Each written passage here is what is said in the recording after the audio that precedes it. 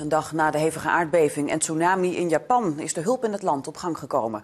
Vanuit veel landen staan hulpteams paraat om bij te springen als Japan erom vraagt. Ook vanuit onze provincie. In de RIPS zit de stichting Signi Zoekhonden. En een team met honden en begeleiders vertrekt maandag naar het rampgebied in Japan. Uh, dit zijn de honden Finder. Finder uh, is een dochter van Rivka. Uh, het zijn speciale zoekhonden. Ze zoeken naar mensen die leefd en overleden zijn, die vermist worden. En dat doen ze met name in rampgebieden. En in Nederland als mensen verdronken zijn of in, in, bossen vermist worden. Kom maar, Finder. Hop. Doe maar. Hop.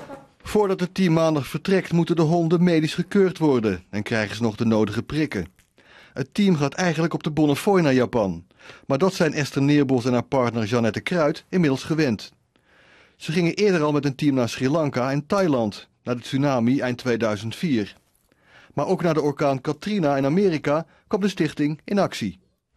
De specialiteit van ons team is, dat we klein zijn, we zijn flexibel, we zijn niet politiek gebonden. Ja, we hebben wel natuurlijk veel naar de beelden gekeken en uh, ja, het is denk ik vergelijkbaar met de tsunami die we destijds hebben gezien. Ja, dat is gewoon dat, dat alles meegesleurd is door de verwoestende kracht van het water.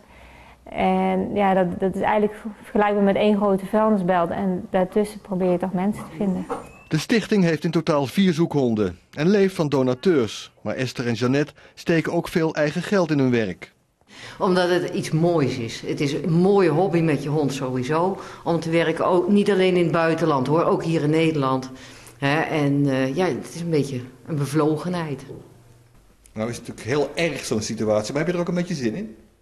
Ja, ja daar, daar doe je het natuurlijk allemaal voor. Hè. Je traint daar natuurlijk heel intensief voor.